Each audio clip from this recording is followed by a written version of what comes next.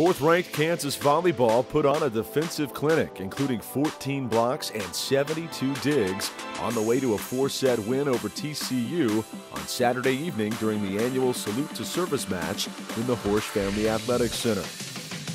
After dropping the first set to the Horned Frogs, the Jayhawks held TCU to a .103 hitting percentage. Senior Tayler Soucie dominated the frontline defense with 11 blocks. Junior Madison Rigdon led the match in kills with 20 and added 11 digs on the defensive side for her ninth double-double of the season.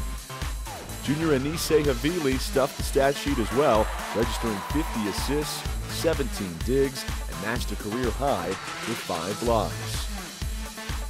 The Jayhawks moved to 12 and 1 in Big 12 play and 23 and 2 overall. And with Texas losing its match against Iowa State on Saturday, Kansas moves into sole possession of first place in the Big 12. The Jayhawks travel to Morgantown to face West Virginia on Wednesday, November 16th.